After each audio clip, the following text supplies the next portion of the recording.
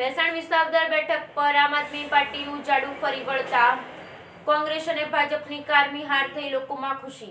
જૂનાગઢની ભેસાણ વિસાવદર બેઠક પર આમ આદમી પાર્ટીનું જાડું ફરી વળતા ભાજપ કોંગ્રેસની કારમી હાર લોકોમાં ખુશી. જૂનાગઢની ભેસાણ વિસાવદરની બેઠક પર આપનું જાડું ફરી વળતા ભાજપ કોંગ્રેસને હારનો સામનો કરવો પડ્યો હતો, જેમાં જૂનાગઢ જિલ્લાની પાંચ બેઠક પરની મતગણતરી થઈ હતી, જેમાં ત્રણ ભાજપ, એક કોંગ્રેસ અને એક આમ આદમી પાર્ટીને સીટ આપી હતી, જેમાં ભેસાણ વિસાવદરની બેઠક પર કુલ બે લાખ પાંચ ઓગણસાઠ હજાર બસો ને ચોવીસ મતદારો પૈકી એક લાખ પિસ્તાળીસ હજાર ચારસો ઓગણીસ મતદારોએ મતદાન કર્યું હતું, જે છપ્પન દસ ટકા મતદાન થયું હતું, જેમાં મતગણતરી થતાં સૌથી વધારે મત આમ આદમી પાર્ટીના ઉમેદવાર ભૂપત ભયાણીને છાસઠ હજાર બસો દસ મત મળ્યા હતા. જ્યારે કોંગ્રેસમાંથી ભાજપમાં આવેલા હર્ષદ રીબડિયાને ઓગણસાઠ હજાર એકસો સુડતાલીસ મત મળ્યા હતા. અહીં આપનો સાત હજાર ને ત્રેસઠ મતની લીડ સાથે વિજય થયો હતો અને ત્રીજા ક્રમે કોંગ્રેસ રહ્યું હતું, જેમાં કોંગ્રેસના ઉમેદવાર કરશન વાડોદરિયાને સોળ હજાર નવસો છત્રીસ મત મળ્યા.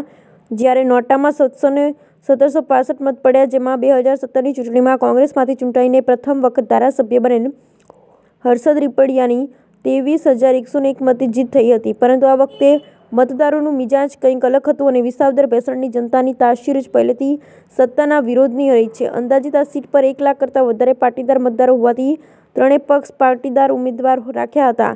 જેમાં આમ આદમીના ઉમેદવાર ભૂપત ભયાણીની જીતથી સમગ્ર પંથકમાં ખુશીની લહેરો પ્રસરી હતી અને લોકોએ તેમનું સ્વાગત ફૂલહાર અને ડીજે સાથે વાજતે ગાજતે તમામ જનતાનો આભાર માન્યો હતો અને વિજય સરઘસ પરબ ચોકડીથી લઈને પૂરા બેસાણમાં ફર્યું હતું.